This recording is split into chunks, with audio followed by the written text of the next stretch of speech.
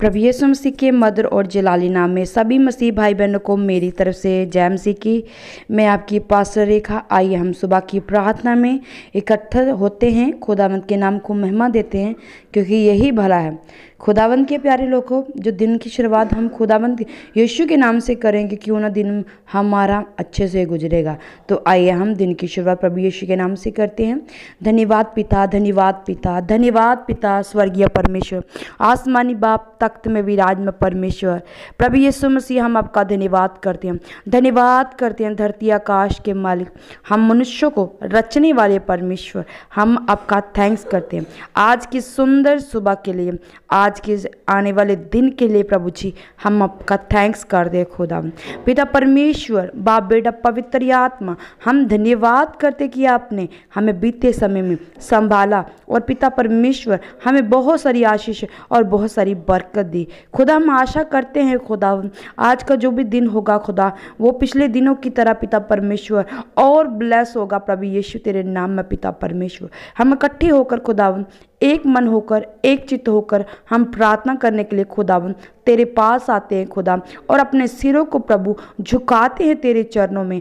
अपने मनों को प्रभु परमेश्वर, हम दीन करते हैं खुदावन पिता परमेश्वर और तेरी महिमा करते हुए, तेरे आंगनों में हम प्रवेश करते हैं खुदा प्रभु, तू ही महिमा के योग, तू ही आदर के योग परमेश्वर है। पिता परमेश्वर, इसलिए हम तेरी महिमा करते हैं, तेरी करुणा के लिए, तेरी दया के लिए पिता परमेश्वर। पिता परमेश्वर तेरे वचन में लिखा, भजन सहता 107 में पिता परमेश्वर खुदावन। वे अपने वचन के द्वारा उनको चंगा करता और जिस गड्ढे में वे पड़े हैं उससे निकालता है। लोग यहोवा की करना के कारण और उन अचर्च कामों के कारण जो वह मनुष्य के लिए करता है, उसे का धन्यवाद करे। पिता परमेश्वर के वचन में लिखा है, प्रिय भाई बहनों खुदावंत कहता है उसको चंगा करता है, जिस जिस पर वह गड्ढे में पड़े होते उसे निकालता परमेश्वर कहता अपना वचन भेज कर।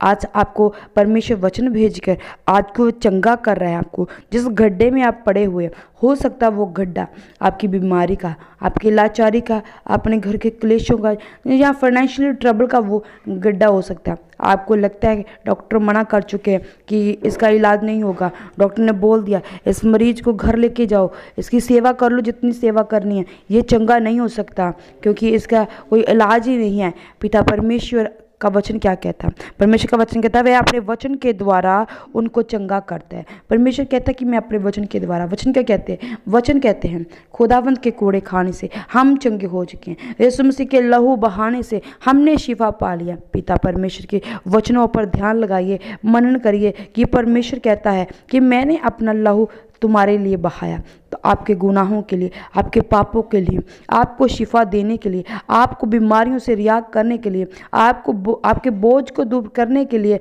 मैंने अपने आप के ऊपर ताड़ना सी, मैंने अपना ब्लड बहाया आप सभी के लिए। जितने लोग खुदावन के पाक ब्लड पर विश्वास करते हैं और विश्वास करते कि वो अपना वचन भेज कर वो सबको चंगा करता है और जो किस गड्ढे में पड़े होते हैं, वो कर्ज का गड्ढा हो सकता है, वो शर्मिंदगी हो सकी है, बीमारी हो सकती है, हो सकता है घर में कलेश हो सकता कि आप बहुत पढ़े लिखे हो और आप जीवन में सफलता को नहीं देख पा रहे ये प्रिय भाई बहनों एक आपके जीवन में गड्ढा है, जो शर्मिंदगी पैदा करता है। जैसे उस गड्ढे को मिट्टी के ऊपर डालकर उस गड्ढे को भरा जाता है और उसको ढक दिया जाता है कि आने जाने राही पर राही उस पर गिरे ना। इसी तरह मेरा परमेश्वर आपके सुख शर्मिंदगी गड्ढे के ऊपर वो मिट्टी डालेगा, वो अपना लहू डालेगा, वो आपकी शर्मिंदगी को ढक देगा वो आपको आदर देगा, वो आपको सम्मान देगा कि चाहे कोई आए, आने जाने वाला हो, वो तो आपको देखे और प्रभु की महिमा करे, वो स्तुति करे। सच में ये यहोवा का भय मानने वाला, ये यहोवा के कामों को करने वाला परमेश्वर का बेटा है। ये ये धन्य है, ये महान है। तो पिता परमेश्वर की आपके द्वारा महिमा होगी, आपके द्वारा प्रभु के नाम को जलाल मिलेगा। इसलिए प्रिय भाई बहनों परमेश्वर कहता है अपने वचन के द्वारा उनको चंगा करता और जिस गड्ढे में पड़े हैं, उसके उसे निकालता है। आज मेरा परमेश्वर, आप चाहे बहुत बुरे हालातों में, दुख, तकलीफ़ों, परेशानियों में पड़े हो, चिंता है कि आज क्या होगा? आप एग्ज़ाम में जाने वाले हो, या किसी काम के लिए जाने वाले हो, आप प्रॉपर्टी के लिए जाने वाले हो, किसी भी काम के लिए, और आप सोचते हो, मेरे पास तो कुछ भी नहीं है, मेरा क्या होगा? मुझे शर्मिंदगी ना झेलने पड़ जाए उन लोगों के सामने, जिनके सामने मैं जाने वाला हूँ। तो परमेश्वर आपको कहता है, जिस गड्ढे में वे पड़े हैं, उसे मैं निकालता हूँ। मैं परमेश्वर कहता जिस गड्ढे में तू इस वक्त पड़ा है जिस चिंता, जिस बोझ में तू पड़ा, मैं तुझे निकालूँगा, मैं तुझे हाथों हाथ उठा लूँगा। पिता परमेश्वर कहता मैं तेरी महिमा बढ़ाऊँगा, मैं तेरी इज़्ज़त को बढ़ाऊँगा, अगर तू मेरे साथ जुड़े रहता, अगर तू मेरे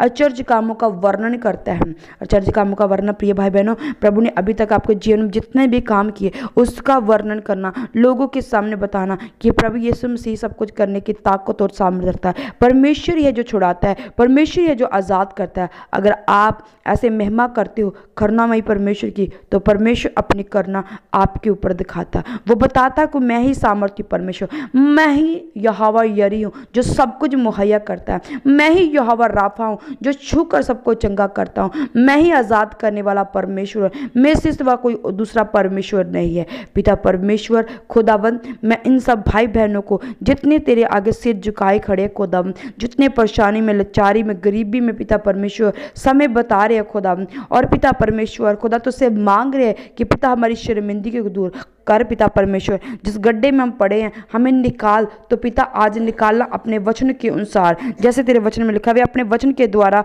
उनको चंगा करता और जिस गड्ढे में वे पड़े हैं उससे निकालता है। प्रभु जी, आज अपने वचन के द्वारा कि तेरे कोड़े खाने से चंगे हो चुके हैं, आज आज़ाद होने पाए, ये फ्री होने पाए, अपनी बीमारियों से। और प्रभु जिस गड्ढे में ये पड़े हैं, कर्ज के नीचे शर्मिंदगी जीवन काम कर रही है काम नहीं बन रहे ये पिता परमेश्वर एक इनके लिए गड्ढा है प्रभु जी, इस गड्ढे में आप इन्हें निकालिए। इन्हें पिता खुदावन फ्री करिए हर पिता परमेश्वर प्रॉब्लम से। मेरा विश्वास है खुदावन, जब ये मांग रहे, आप इन्हें दे रही हो। क्योंकि आपने कहा, मांगो तो दिया जाएगा। प्रभु, जब हम मांग रहे हैं ये पा रहे हैं प्रभु यीशु तेरे सामर्थ्य में। धन्यवाद करती हूँ प्रभु जी, आपने इनकी विनती को सुना है। ये मेरा विश्वास कहता है कि जब ये मांग रहे, प्रभु आप इनको दे रहे हो, आप बड़ी गवाहियों के साथ इनको खड़ा कर रहे हो, पिता परमेश्वर। मैं आपका थैंक्स करती हूँ कि आपने मेरी विनती को सुना, आपने मेरी प्रार्थना को सुना, आपने भाई बहनों की प्रार्थना, विनती को सुना प्रभु जी। हम धन्यवाद करते हैं। आने वाली गवाहियों के लिए जितने इनके जीवन में काम हो रहे हैं, मैं सारी महिमा प्रभु तेरे नाम को देती हूँ। सारा इज़्ज़त, सारा जलाल तेरे नाम को देती हूँ। आज का दिन प्रभु परमेश्वर, इनका ऐसे बीते जैसे पिता परमेश्वर, स्वर्गीय दूत प्रभु जी, इन्हें उठा रहे हो मेरे सामर्थ्य परमेश्वर। आज के दिन बड़ी बड़ी ब्लेसिंग को ये देखने पाए प्रभु यीशु तेरे सामर्थ्य में।